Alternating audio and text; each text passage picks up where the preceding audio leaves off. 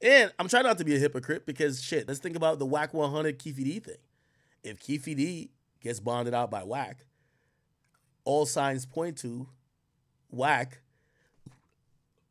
getting some type of check and giving Keefe D a check for the, the the production of either a movie or a documentary about the killing of Tupac. So, try not to be a hypocrite here, but um, I don't know. I, I think one thing was very clear to me: people on the West Coast don't give a fuck about Pop Smoke. Like Pop Smoke was just like, eh. on the East Coast, the nigga was the he was the next coming, right? And, and maybe that's just a disconnect between coasts because I think a lot of people on the what on the East Coast they don't give a fuck about West Coast shit. Like if you ask the average person on the East Coast, yo, Drakeo the Ruler died, they're gonna be like, okay, they don't care. If you ask people on the West Coast, it's a big deal, right? So so maybe it's just a, a coastal disconnect. Nevertheless, um, I'm not gonna show the video, and if I'm not gonna show the video, I mean, you guys are gonna look it up if you want to, but um, if I'm not gonna show the video, let's just move on, right? Okay. So, uh, unfortunately, we're still talking about death, but uh, Foolio. Oh my god. Now, it's on TMZ, so I guess we could play it since TMZ's on it. They do put a warning sticker graphic video it says new video shows the moment the gunman opened fire point blank. Now, remember when we covered this whole Foolio situation? We were actually like trying to figure out what was the situation. Remember, I was saying it looked like the car was at a complete stop in a parking spot, damn near, and maybe they were trying to book the hotel and they're just sitting idly in the car. Somebody walks up or drives up. At first, that it was mentioned in the reports, they said it was a, a almost like a drive by, like a car, like people fired from a car. Clearly, here you can see from the still, there's a guy standing outside of a vehicle with a gun in his hand. Now, I want to just again give trigger warning there's no blood, no gore, no body. However, watching somebody pretty much in the midst of taking somebody's life could be very triggering. And um, I just want to put that out there before we play it. So this is a video. I think it was leaked by somebody who worked at the um, hotel. From from what I was hearing, and some people had hit me that they said, which fucking Holiday Inn, man. Like, pay your fucking your fucking employees. Like, I hear they were trying to sell videos and weird shit for like, yo, fifteen hundred dollars, and I'm like, ill. like, first of all, like, bro, you gonna sell a picture of a, a man's deceased body for fifteen hundred bucks? And I get it, you don't get paid too much at work, but it's like, bro, like, that feels good in your spirit. I guess, right? Anyway, once again, trigger warning, trigger warning, trigger warning, trigger warning. Okay. Now, uh, before we even play it, it looks like this guy has um, it's a rifle, but it looks like it's a short barrel rifle. Almost looks like it might be like a Draco or something of the sort, which would be a mini AK 47. Uh, let's play and see what we see. Once again, trigger warning. Um, if you're not comfortable seeing this, um, maybe click off the stream for a couple minutes and then come back. Okay. So now we're going to do a little detective work here, but not too much. Once they have this, they probably already got the whole thing, right? We're to see two people. You see one guy here. Do you see do you see it chat? He runs on the bottom the bottom right of the screen. There's a light here that's kind of blinding the camera, so you barely see him, but it's two. You see him right here? You see him? And then you see him better here now that he's blocking the light. So he's going to run this way, and the other guy's going to run this way. So they clearly knew what car it was. I don't know if they were waiting in the parking lot. I don't know how they got the drop. That's going to be the big conversation piece. How did they get the drop on these guys, right? Now, keep in mind, um, I, have heard certain theories about this. I don't want to echo without having some more concrete proof. Um, but but one of the theories was that his ops or whoever was in the parking lot of the last place. Now, if you don't remember the last place we had pulled it up, it was like this. Um, it was like this hookah spot, right? Foolio hookah hookah lounge, right? It was like this hookah spot that um. Oh, shit, no, Uh, all right, I'm not gonna go back into like googling it. There's a hookah lounge that had this parking lot. Apparently, dudes were like sitting in it. Foolio goes up. He's like, "Yo, we with mad people." Apparently, he was already being followed from the club that they were at before. Um, maybe he knew, and maybe that's why he was talking to the camera. Maybe trying to scare off the people that might be following him. Like, "Yo, I got hella niggas with me, so you don't want no problem with me. I got hella people with me." So he he pretty much goes and um he basically goes and he goes to the hookah spot, has a bunch of people with him. I hear everybody disperses afterwards. Now it's after moves. It's like four o'clock, right? It's after moves. So now you know, come on. You know, they always say ain't nothing open at four o'clock but legs and 7-Eleven, right? Like unless you about to fuck, ain't nothing about to be open. So I could imagine he's trying to figure out a place to stay. They got kicked out of the Airbnb. He drives to a place where there's two different hotels. There's a Home2 and a and a and a um what's it called Holiday Inn. So uh, from what I hear, they were trying to get a room. Not sure if they had a room. However, you know, I had previously thought the car was sitting in a parking spot. Looked like the car was kind of like driving, right? And um, apparently, they went there from the hookah spot. This spot is about seven minutes away. We looked all this up on the map already. So this spot was seven minutes away from the last spot they were at, which is the hookah spot. Now, uh, again, we, we had the conversation. If somebody's following you and you're, it's not like one straight road, like you have to make some turns, you could probably like, yo, just think of following me. So it looked like somebody got the drop somehow. There's a theory, or, you know, we even kind of came up with a theory before I even heard it from other people too you know, you know, when niggas about to go check in a hotel, they then texting the bitches from the spot, yo, where you at? Yo, come through, come through, blah blah blah. So maybe that's how they got it. Regardless, it, it seemed like the guys were waiting around already. So you see one guy here, and then you're gonna see the other guy here, and then you're gonna see the you're gonna see the car. Now he's already shooting. You can tell he's shooting into this direction and I don't know if the car was parked at that time or it was rolling. Maybe it was parked and he throws into drive and he's trying to drive off, but they drive off essentially into the direction where the shooter is at, right? And he keeps he keeps going. He keeps like this guy, he's shooting, and you could tell every time a shot is going off, you'll see like a, a slight spark by the barrel. The other guy, we don't know where he went. He's not captured on this um, um, video. By the way, you could tell this is official surveillance footage. It says parking side south, right? Um, it actually also says the time. It says 4:37, 4:37 a.m. in the morning, right? Look, you're gonna see the shots. One, two, and he's he's he's going, going, going, going. Now, I, I got to think the people in the back who were hit was probably when the car went um, almost like parallel and he started shooting like the passenger and shit. Because if he's shooting directly at whoever's driving, I think Foolio was driving, if you ask me.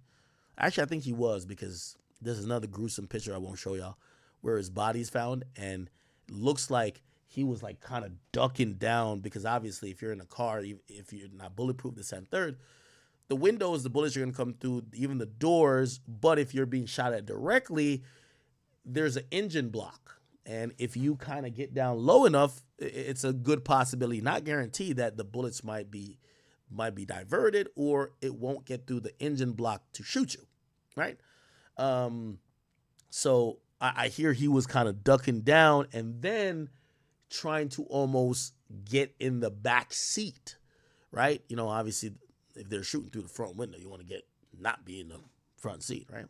And apparently, uh, according to one of these gruesome pictures. I'm not sure if that's all the way true, but it looks like I hate that I'm describing this to y'all, but he passed away with like his face like like aiming to go in the back seat, but like like he, he turned his body away from the, the, the windshield, probably after he got shot multiple times. It's gruesome. I'm, I'm sorry, Chad. Okay, okay, okay. So he's shooting, he's shooting. We don't know where the other shooter is. Yeah, I don't know if they were trying to hit him or they're just trying to get away. Probably just trying to get away, right? Yeah, you, you could see the multiple shots being fired. You, you're gonna see. Watch this car right here. You're gonna see it being lit up. You see that? That's yeah. Yeah, those are those are okay.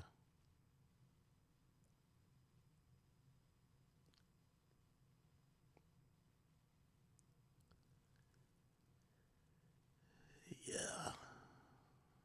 Wow. Now this is the only surveillance footage we have. Um, it says shocking new video makes it clear that Florida rapper Julio Foolio almost had no time to react. When gunmen approached him outside a hotel and fired into his car, killing him. The shooting went down in Tampa on June 23rd, just two days after the Jacksonville's native 26th birthday. And the surveillance video from the shared parking lot of a Hilton and a Holiday Inn, so the Home2 is a Hilton hotel, shows the gunman waiting for Foolio's black car. Um, Foolio had been in town celebrating with friends and when the party moved from Airbnb to the hotel, a move he chronicled all over IG, all over his IG shortly before shooting. This is Can't even fuck for my birthday, man. this is them at the hookah spot before they left. Everybody coming up the stairs. No cap, man. You know what I'm saying? You know what I'm saying? You know what I'm saying? We deep as hell. We deep as hell. 20 deep. Lit everywhere we go.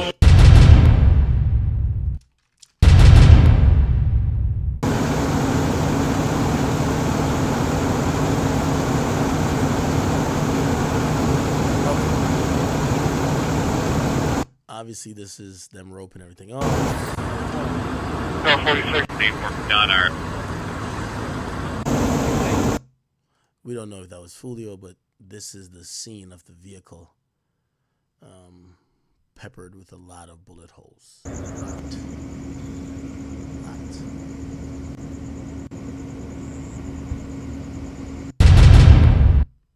Okay.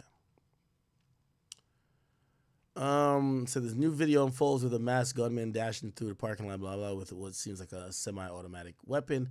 The car hits a curb, and Foolio and company tries to speed around the corner and dodge a hail of bullets. There appears to be other gunmen in the distance as well. Um, this was the mom who said, "Rip, rest in peace, son." Charles Jones, second, Foolio, the real. His life documentary is coming soon. I don't know why I thought that was odd. As soon as you, you say rest in peace, my son, you say his documentary's coming soon. Like, holy shit. The story that only I can tell because I know the truths from the fakes. I think I'm the only mother that kept it real, while most others know damn well what's going on with their own sons. This has been going on since 2014 and 2015. Some of these same women celebrating your death, some of the same women who, uh, same woman looked up to me. What? Some of the same women celebrating your death is the same women looked up to me sitting in my building. I was their teacher, they were my students at a big grown age, taking notes. Let's not forget that.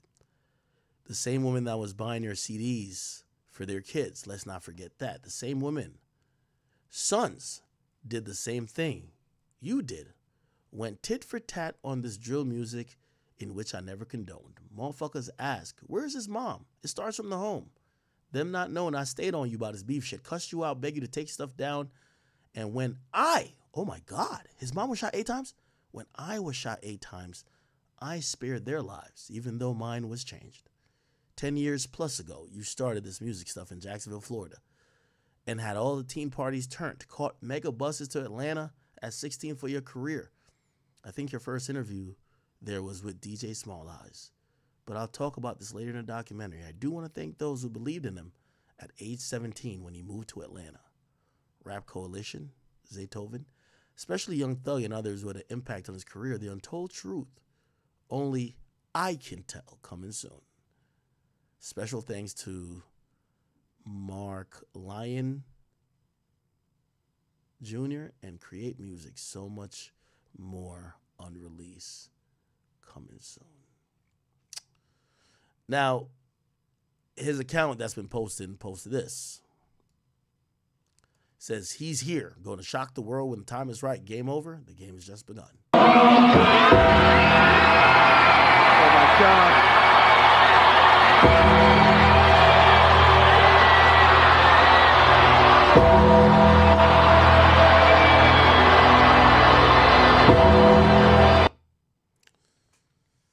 All right.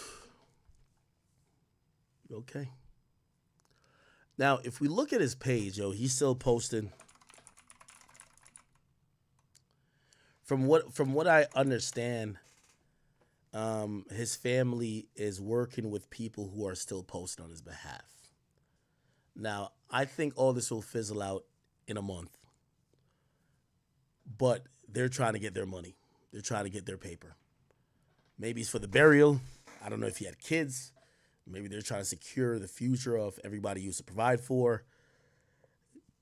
Some of y'all might think it's distasteful, but from what I understand, his family and his mom is in agreement with what is happening.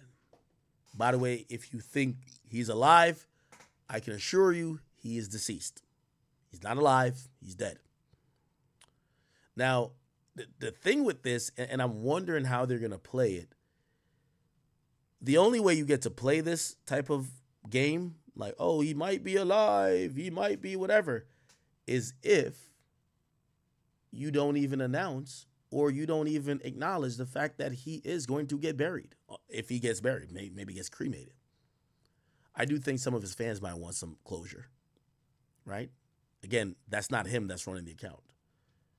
And, and, and it's it's okay. Like I, I mean, I don't want to tell these people what to do, but you know, to act like this guy's still alive while he's on ice or sitting in a casket somewhere is crazy. I, I 100% think that's crazy. Even if you're saying, well, this is the most traction he's ever got, we could get some money to help the family out. Cool. I, I think fans would be cool with like an AI version of him. Like it's almost like leads into this metaverse version of him. Knowing that he's deceased, but this these were his intentions the whole time. You get what I mean? Like, yeah, listen, y'all know he always was beefing with niggas. So we gonna have an AI metaphysical version of him that's gonna still be doing that. All right, cool. But to act like he's still alive while this guy is completely dead it's crazy. This whole demigod thing, he's not demigod. We're all human. Um, so they're milking it for what it's worth right now. But um, they posted this other thing too. Dewey Dembella. Lorencella Santaria. Oya Shango. Yenya Makumba.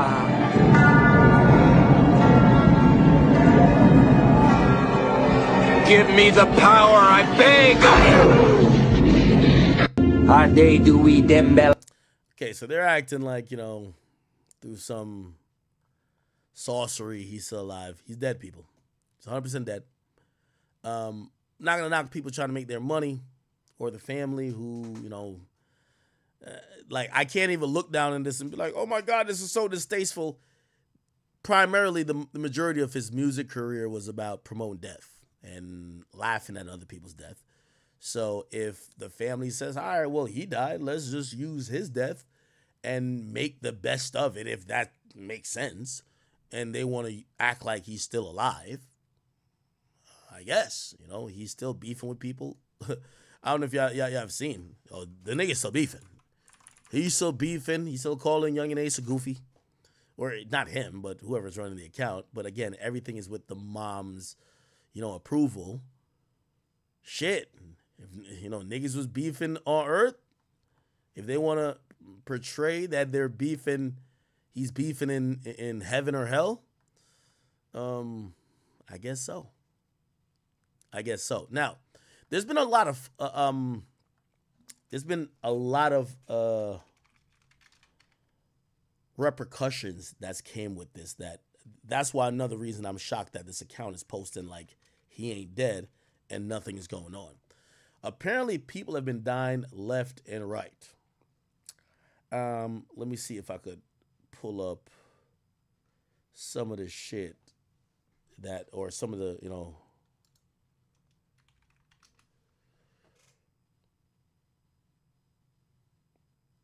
okay. Now, hold on, let- me actually find find real shit because I want to say shit without without anybody having some proof. Because I've heard about s- several people dying. I don't know if it's on Young and A side, but it's people that that clearly Foolio didn't like, and I guess retaliation is happening very rapidly. Let me see.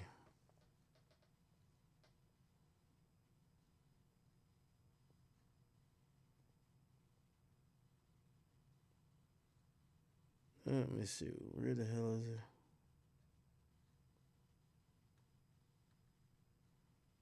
Yeah, I just want to put rumors out there. Like they were saying some guy named Leaky, his brother got killed recently. Um, like people were just like cataloging the the murders that that's happened since Foolio died and how it's clearly um repercussion or, or like retaliatory shootings. Let me see if I can find. Uh, I'm trying to see if I can find it, but I can't. I can't find the shit.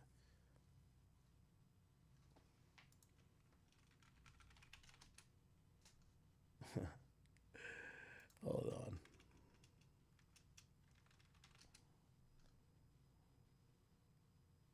Wait, where is it at?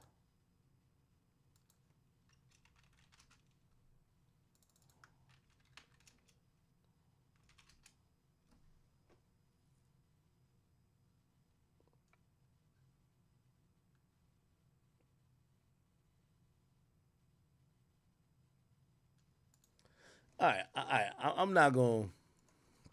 to Yeah, I don't want to propagate some of this bullshit. Because sometimes I read too much into it. All right. Anyway, um, let me see. Let me see. Let me see. Da-da-da. Is there any more information?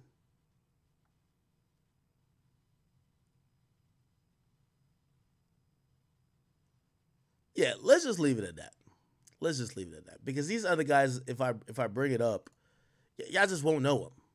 Like y'all just really won't know them. And by the way, yeah, here's here. This is how crazy the person running this page is. It says surveillance shooter, surveillance show shooter creeped up on Foolio at the Holiday Inn.